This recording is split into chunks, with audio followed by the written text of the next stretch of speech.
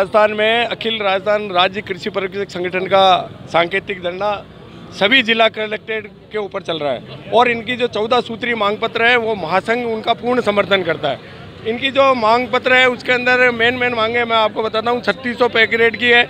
एक चार के अनुपात इन, एक चार के अनुपात के ऊपर इनके सहायक कृषि अधिकारी की पोस्टिंग है। और समान काम, समान वेतन, यानी कि पटवारियों को और ग्राम सेवकों को जो ग्रामीण भत्ता मिल रहा है, वो इनको नहीं मिल रहा है। चाहे वो मकान किराए का हो और चाहे इनके जो रेंट है, उसका पेड हो। तो इसके लिए जो गहलोत सरकार साहब को है, अगर बजट के अंदर वो प्रावधान कर दिए तो ठीक है, वरना महासंघ ने भी ये निर्णय ले रखा है इनके नेतृत्व के लिए कि भाई जो आगामी पंचायत चुनाव आएँगे, ये ग्रामीण क्षेत्र के चुनाव हैं इसलिए हम उस सरकार का पुरजोर तरीके से इसका विरोध करेंगे और इनकी मांगों के लिए हम उनका पुरजोर समर्थन करेंगे।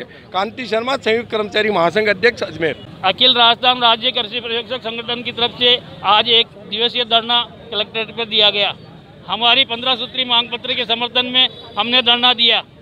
इसमें जो ग्रेड पे तो उन्नीस सौ है, उसको छत्तीस सौ की जाए। सहायक कृषि अधिकारी और कृषि पर्यवेक्षक का रेसो एक चार किया जाए। प्रत्येक ग्राम पंचायत में एक कृषि पर्यवेक्षक का पद सर्जित किया जाए। वर्तमान में ढाई हज़ार पंचायतों में कृषि पर्यवेक्षक नहीं है तो ये पद सर्जित किया जाए। हमारे साथी जो योग्य है आरपीएससी से जो वैकेंसी निकलती है उसके अंदर उनको 10 प्रतिशत आरक्षण दिया जाए। हमारा पदोन्नति कोटा 50 प्रतिशत से 60 प्रतिशत किया जाए। धन्यवाद। भगवान सिंह राठौड़ उपखंड अध्यक्ष केकड़ी।